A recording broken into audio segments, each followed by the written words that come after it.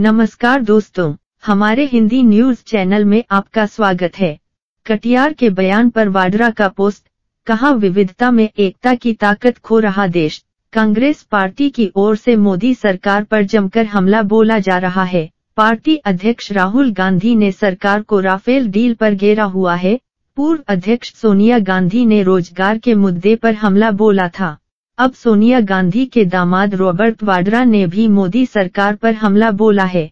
अपने Facebook post में वाड्रा ने लिखा है कि इस सरकार के अंतर्गत हम नेताओं से कई इस तरह के बयान सुनते हैं, जो कि समाज को बांटने का काम करते हैं। रॉबर्ट वाड्रा का ये पोस्ट बीजेपी नेता विनय कटियार के ताजमहल को लेकर दिए गए बयान पर दिया है।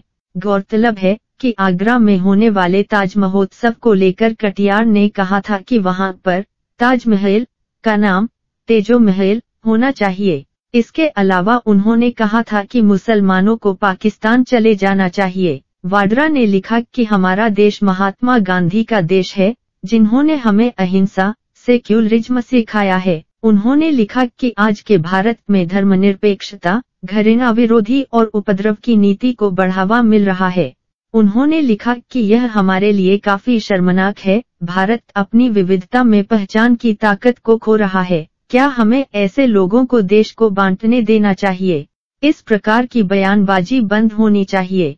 सोनिया ने भी किया था वार। गुरुवार को पूर्व पार्टी अध्यक्ष सोनिया गांधी ने भी मोदी सरकार पर जमकर हमला बोला था। उन्होंने सभी कांग्रेस कार्यकर्ताओं से कहा है कि वह समय से पहले चुनाव के लिए तैयार रहें। उन्होंने कहा कि अगले एक साल में हमें कई राज्यों के चुनाव का सामना करना है, इसके अलावा केंद्र सरकार पहले लोकसभा चुनाव भी करा सकती है, जिस तरह 2004 में कराया गया था।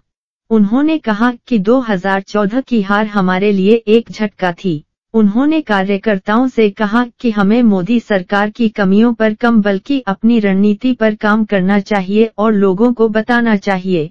पूर्व कांग्रेस अध्यक्ष ने कहा कि ग्रामीण भारत और छोटे व्यापारियों की हालात ठीक नहीं है।